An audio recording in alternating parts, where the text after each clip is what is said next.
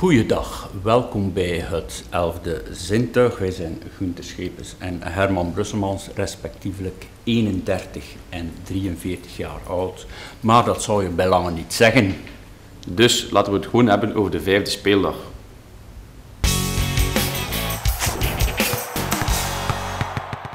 Herman, ik vind dat we het opnieuw eh, niet goed gedaan hebben. Hè. Dus eh 4-3, dat is een eh, slechte score. Het zal waarschijnlijk worst wezen.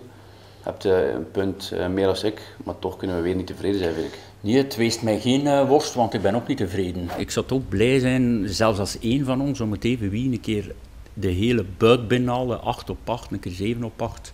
Dat zou toch wel eens spectaculair zijn. Maar natuurlijk, een aantal ploegen laat ons in de steek. Ja, en dan denken we in eerste instantie aan Standaard, Club Brugge.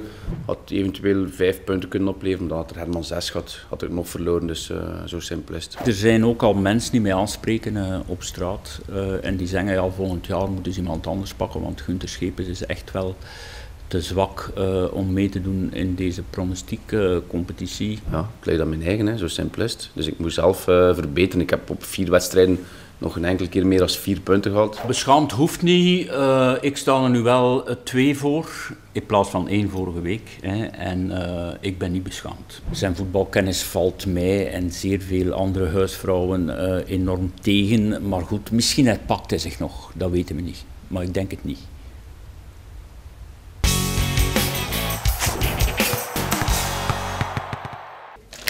De sloef van de week.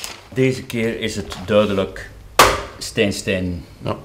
Dus ja, maakt een eh, zware inschattingsfout. Dus bij het uitkomen bij de tweede goal. Stijne komt veel te, ja, veel te traag eigenlijk uit, uit zijn, zijn goal. Dus de keeper moet dan berekenen, ben ik op tijd of niet. Maar ik veronderstel dat Stijn gedacht heeft dat hij eerder op de bal ging zijn dan de tegenstander. Maar dat was dus duidelijk niet hier het geval. Een mooi lopje van eh Ibu en eh, de bal zit binnen. Stijn Stijn, nogthans een goede doelman. Maar hij is de sloef van de week. Proficiat.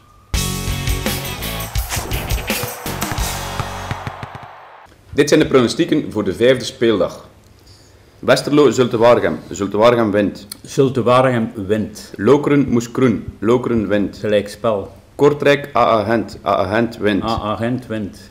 KV Mechelen, Sint-Truiden. KV Mechelen wint. Mechelen wint. Roeselare, Charleroi. Gelijkspel. Charleroi wint. Genk, Beerschot. Gelijkspel. Genk wint. Cercle Brugge, Club Brugge. Club Brugge wint. Club wint. Anderlecht, Standaard. Anderlecht wint. Anderlecht wint. Wat aan mij opvalt is dat je eindelijk voor het eerst geloof ik Agent eh, gewonnen heeft. Ik ga er ook vanuit en ik hoop ook dat ze winnen. Als ze me nu in de steek laten, dan zou het heel erg zijn. Gent is echt wel goed bezig. Dus ja, moet, moet ze gewonnen zijn. Zo simpel is het. Je zet ook Lokeren gewonnen, terwijl dat die echt wel slecht bezig zijn. Hè. Maric van Gent eh zal naar Lokeren gaan.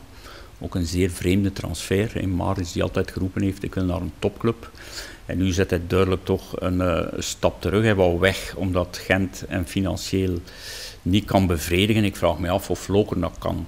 Maar goed, we zullen zien als Maric eh, bij Lokeren is eh, of het betert. Maar nu zijn ze ongelooflijk snel, slecht bezig. Maar tegen Moes Kroen moeten ze thuis winnen. Als ze daar niet, niet kunnen tegen winnen, dan hebben ze een half seizoen problemen eigenlijk. En daarvoor schat ik het toch wel iets te hoog in. Ook al gaat het nu niet goed, maar oké.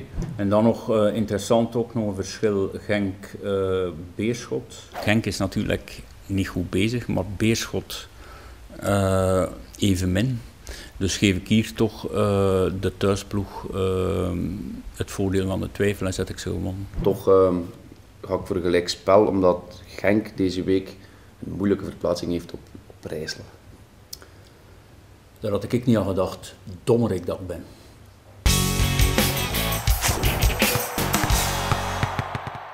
De dag na de gewonnen wedstrijd van Anderlecht op Zulte Waregem zei Olivier de Schacht tegen mij.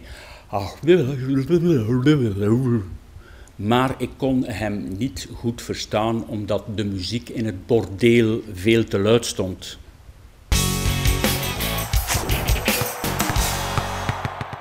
De pronostieken voor de komende week hebben we eh, drie verschillen, die ik nu alle drie vergeten ben.